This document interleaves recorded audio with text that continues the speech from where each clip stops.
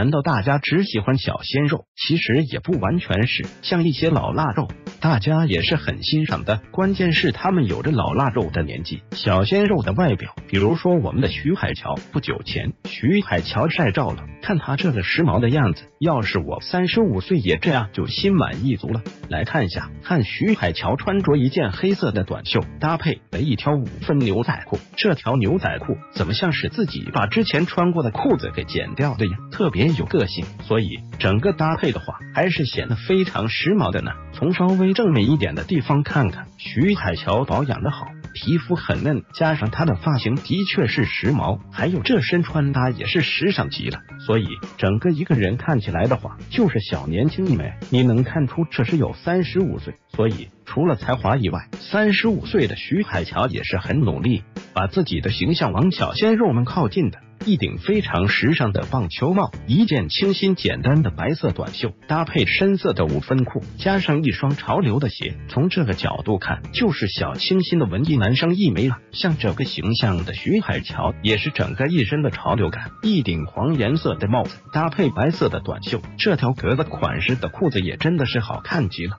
全部搭配在一起的话，还以为哪个年轻的潮人呢？白色的卫衣搭配运动裤，还绑了一条发带出门，这是要装成自己是道明寺吗？另外背了一个特别时尚的包，这个三十五岁男人的时尚品味，看着真的是非常前卫啊！别人都是穿白色的、黑色的西装。